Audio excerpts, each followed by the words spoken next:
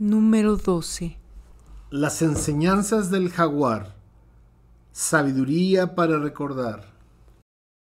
La historia ancestral de la náhuatl que los investigadores contemporáneos, criollos y extranjeros en los dos últimos siglos han escrito está sustentada en estos errores, imprecisiones y mentiras, pero además parten desde una supuesta e inexistente superioridad civilizatoria de la cultura occidental.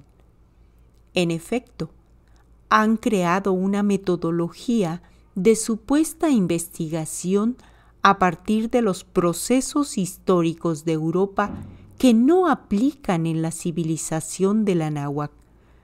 Por ejemplo, para describir a nuestros pueblos ancestrales y sus culturas, llevan temas como el económico y comercial, cuando en el anáhuac no existió la moneda, la propiedad privada ni el consumismo.